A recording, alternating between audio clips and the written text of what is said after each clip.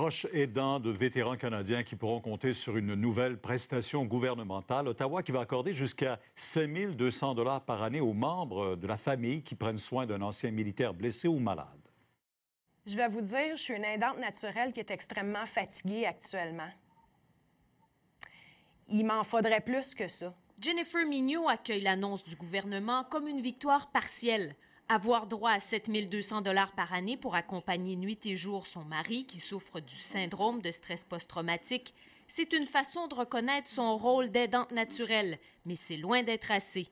C'est une mesure qui me semble être plus appropriée pour quelqu'un qui est actuellement sur le marché du travail, qui doit manquer du travail pour pouvoir accompagner son mari et qui est ultimement pénalisé par son absence du travail. Donc, je suis mitigée, je vous dirais. La prochaine aidante reconnaît quand même que le gouvernement part de loin. Le printemps dernier, elle avait essayé sans succès de raconter sa réalité à l'ancien ministre des Anciens combattants, Julian Fantino.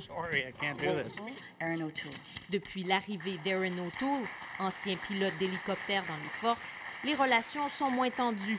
En deux semaines, il a annoncé des allocations pour perte de revenus aux réservistes et aux anciens combattants de 65 ans et plus blessés en mission. Pour ce défenseur des droits des vétérans, habituellement très critique du traitement réservé aux anciens combattants par le gouvernement, les relations s'améliorent. Mais tant qu'elle ne recevra pas une première prestation, Jennifer Mignot restera sur ses gardes. Je ne peux pas faire autrement que d'avoir certaines réserves qui me semblent être justifiées. Michel Lamarche, TVA Nouvelle, Ottawa.